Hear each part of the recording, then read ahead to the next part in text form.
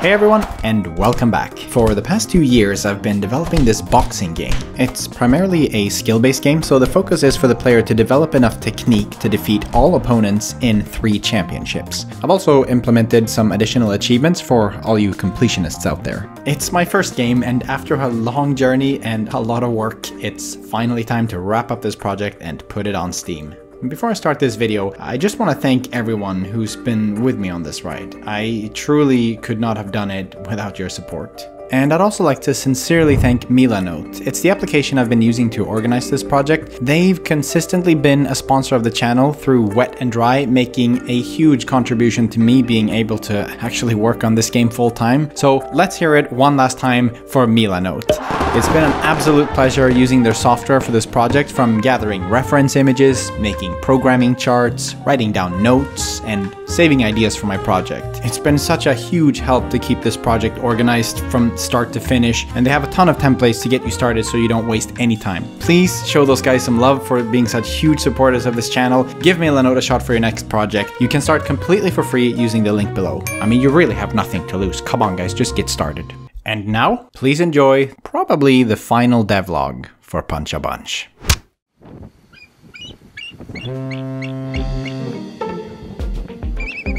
With only a few weeks remaining before launch, it's time to finish up all the things I've procrastinated doing until now. The Steam page looks awful, I need to make some more music, a lot of bugs that need fixing, uh, and I still haven't created the final boss for the game yet to name a few, uh, there's a lot more to do than that, trust me. But to start off, I want to see if there's anything I can do to improve the graphics a little bit. It just looks a little bit flat and uninspired right now. So to make things a bit more dynamic, I created a rig with spotlights that track the boxers as they move around the ring. So with that and a couple of other tweaks, it's looking something like this. I think this helps to keep focus on where the action is, and I also added these moving lights that sporadically sweep across the boxing ring to make you feel like you're in a big stadium or something like that. I think that looks pretty nice. I've also programmed the crowds to cheer when you land heavy punches or there's a lot of action going on.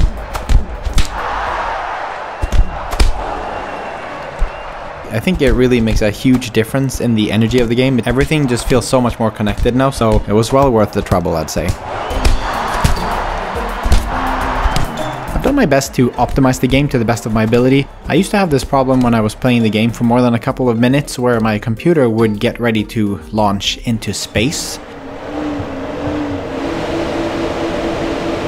But I managed to fix that problem by simply limiting the amount of frames you could render per second. I, I, guess 300 frames per second is not necessary if you think about it. Anyways, I included some settings in the options where you can lock the frame rates to fit your specs and your monitor. I really do think we should do something about the Steam page. Uh, you know, it's getting close to release and people are starting to wishlist the game. So yeah, this is quite embarrassing. I set it up in a rush last year with some quite terrible throwaway art just to get something up so that I could start gathering wishlists for the game. Anyways, I always meant to improve it. I just never did. Oops. Now, I'm not very good at drawing, so instead I took some screen grabs in the game and I'm hoping we can put this together into something usable. And after spending a few hours in Photoshop and upgrading the logo to match the style of the game a bit better, I feel like we're not too bad. I mean, it could probably be better, yes, but if I put them next to each other like this, I think I'm feeling pretty good about the new one. If you think there's anything that needs improving on the Steam page, please do let me know. I would love to improve it as much as possible, so any ideas are welcome here. But it's not a proper Steam page until we also have a trailer, so I spent some time putting one together. Thankfully, I'm used to doing a lot of editing, so it didn't take me too long. I uploaded it here on YouTube a couple of weeks ago, but a lot of you felt that it was a little bit too fast and just not very informative. So I put a new edit together, I put it out on Twitter and on the Steam page, and you guys seem to like it a lot more, so I think this, we'll have to call this one the official one. It's not on YouTube because I didn't want to spam you guys here, but uh, I'll put it up in a couple of weeks. I made pretty good progress on the music in the last episode, but I still need a few more songs and I also decided to scrap a few songs that didn't really fit the style of the game. I'm still very green when it comes to making music, but I ended up with a few new songs that I think fit the game a little better this time. Here's a little taste.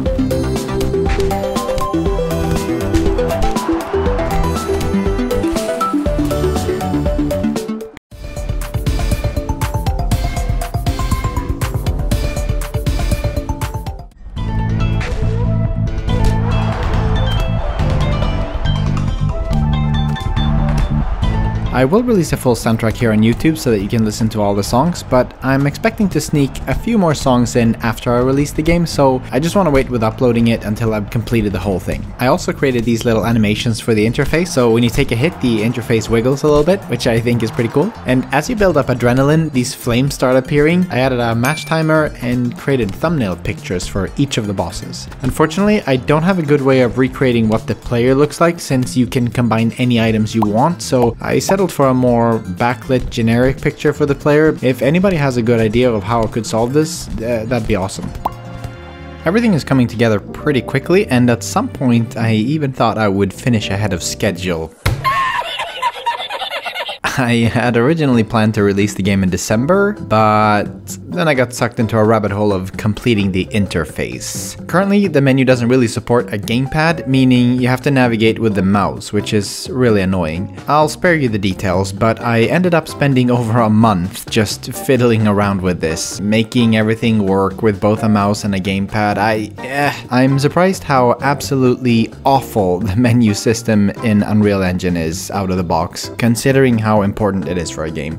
Well, it's finally working pretty well now. Uh, there are still cases where it's a little bit buggy, but nothing too major, I don't think. Something to keep in mind that I'm definitely more aware of for my next project is to keep interface to a minimum. I wouldn't be surprised if I've spent over 50% of all the time working on Punch a Bunch just building menus and stuff like that. It seems like a quick thing to do, but just keeping track of unlocked items, equipping them, which achievements you've unlocked, and all this stuff, it becomes very complicated very quickly, trust me. But it's done now, and I do think it makes the game feel more complete, so I'm happy I did it, but for my next game, no menus. Another big thing before I'm able to release the game is to get the Steam integration working. So I spent some time making some achievements and making sure cloud saves and all that good stuff is working as well. I mean, I say this like it was easy. The Steam integration is... yeah. Let's not talk about that. With all of this, I'm unfortunately blowing past my deadline of December. I was really hoping to publish this game in 2022, but I'd rather push the game just a little and make sure it's not totally broken, although that doesn't seem to be stopping other people from publishing.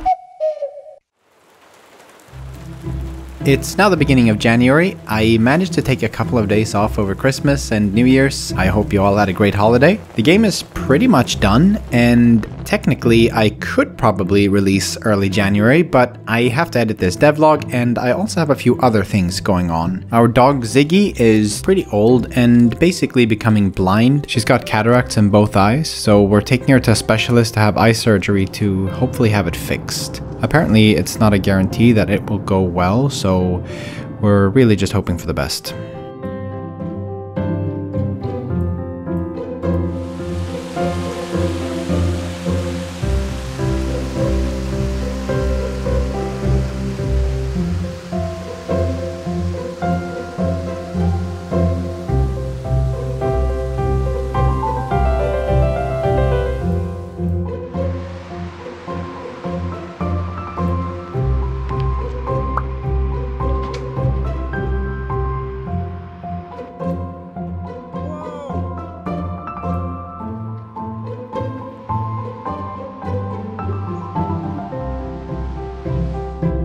I'm also about to become a Canadian citizen. As you know, I'm Swedish, but I live in Canada, so I have to take a test proving that I know who the Prime Minister is. So uh, I've had to set aside some time to studying for this as well. So there's been quite a lot of stuff in January. Unfortunately, everything just got crunched together in one month, so it's been a little stressful.